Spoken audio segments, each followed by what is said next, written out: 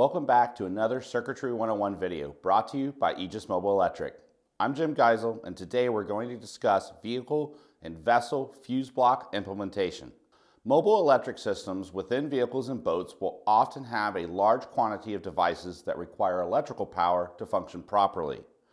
Distributing power from the source, such as a battery, to the various devices requires attention to ensure the insulated electrical wires are protected from overheating due to excessive current flowing through the wires. We outline in separate instructional videos proper determination of cable sizes and circuit protection devices for any individual electrical wire. For this video, we'd like to focus on the common practice of employing fuse blocks. Fuse blocks are electrical circuit branching devices that are electrically connected between an input circuit wire where the power enters the block and a multitude of branch output circuit wires which provide electrical power to devices that perform useful tasks. The design elements of the typical fuse block are a consequence of the critical function that the fuse block provides. The individual fuses within the block allow the system to properly protect smaller wires as compared to the size of the input wire. Remember, all electrical wires need to be protected based on the amount of expected current and the size of the wire. Without a fuse block, an electrical system would need to either have a very large cable distributing power throughout the system, or all individual devices would need to have their wire routed directly from the power source. Either option results in much less efficient system with excessive cost and weight. The reason for this is that for the vast majority of electrical systems, the electrical loads never draw their maximum potential power all at the same time.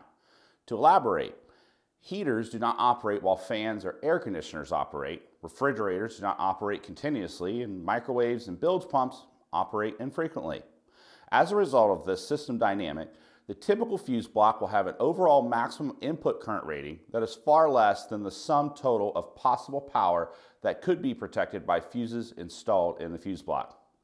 In this example, the 12 position fuse block is rated for a maximum of 100 amps of input current and therefore has a 4 gauge cable connected to the input protected by a 100 amp fuse at the battery.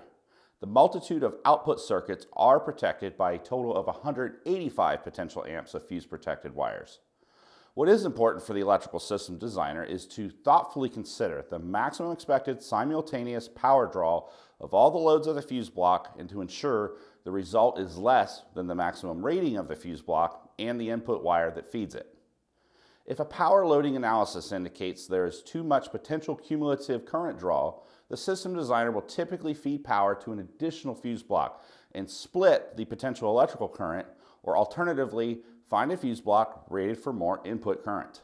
In summing up this analysis, fuse blocks play a critical role in simplifying the distribution of properly protected wires for electrical loads, but thoughtful analysis must be done to ensure the fuse block is not overloaded. Thank you for watching this episode of Circuitry 101, and to learn more about these and other Electrical 101 topics, don't forget to subscribe. Thank you all for watching, and until next time, bye for now.